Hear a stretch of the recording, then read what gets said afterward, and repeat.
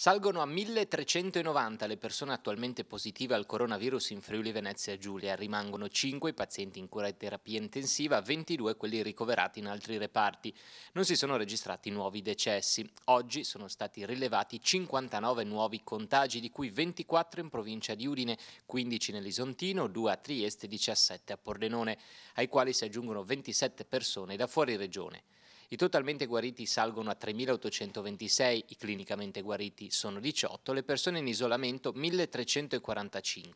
Nel dettaglio dei casi è stata riscontrata la positività al Covid di un neonato al pronto soccorso del Burlo Garofalo di Trieste, mentre sul fronte delle scuole 25 delle 59 infezioni odierne afferiscono a minori, sono da registrare a Pordenone con un caso al liceo artistico e un altro al liceo scientifico Grigoletti, a Gorizia 9 al liceo Dante Alighieri, con una classe già in quarantena, e uno all'Istituto Tecnico per Geometri. A Udine, dopo il contagio di un piccolo emerso l'8 ottobre scorso, è spuntato un nuovo caso di positività alla scuola dell'infanzia Marco Volpe, con successive procedure di isolamento e sanificazione dei locali.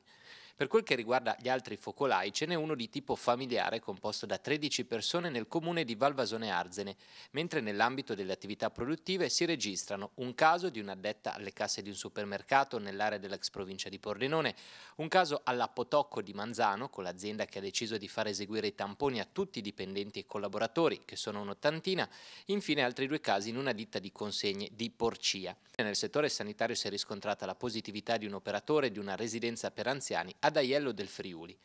A Trieste sono state sospese per 48 ore, in attesa della sanificazione di tutte le aule, le udienze penali nel Tribunale, dopo che nei giorni scorsi sono emerse alcune positività al Covid tra il personale. Momenti di tensione invece stamattina all'interno dell'ex caserma Cavarzerani di Udine, quando alcuni ospiti hanno tentato in modo non violento di uscire dalla struttura che pochi giorni fa è stata dichiarata zona rossa. Sul posto le forze dell'ordine e i mediatori culturali per riportare la calma, la situazione è poi rientrata.